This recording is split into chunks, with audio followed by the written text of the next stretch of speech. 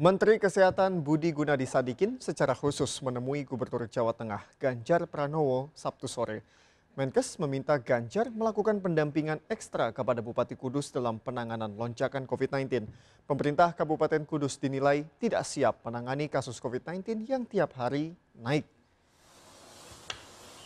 Dalam pertemuan yang berlangsung di rumah dinas Gubernur Jateng, Menteri Kesehatan menyatakan penanganan COVID-19 di Kabupaten Kudus masih banyak yang harus dibenahi.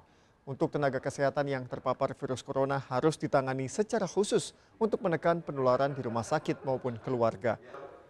Dengan banyaknya nakes yang terpapar virus corona di Kabupaten Kudus, Kementerian Kesehatan telah menambah tenaga medis dan tenaga kesehatan Menteri Kesehatan meminta kepada Gubernur Jawa Tengah Ganjar Pranowo melakukan pendampingan kepada Bupati Kudus Hartopo dalam penanganan lonjakan kasus COVID-19. Kementerian Kesehatan telah mengirimkan 50 ribu alat swab antigen, 50 ribu vaksin, dan mengirim tenaga medis dan tenaga kesehatan ke Jawa Tengah untuk mengurangi laju penularan virus corona.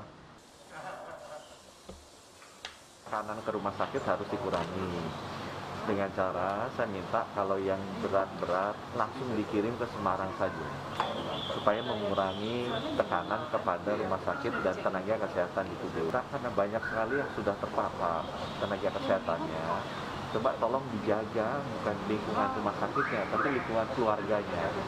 Malah kalau bisa ditinggalin dulu lah di asrama supaya mereka tidak tertular pada saat saya minta tracing isolasinya juga penting. Supaya banyak orang kudus kalau udah dites kemudian dia isolasi mandiri di rumah. Itu yang sama seperti yang Pak Ganjar lihat kalau sakit ditemenin itu malah nular ke mana-mana. Tuh bilang udah masukin isolasi sendiri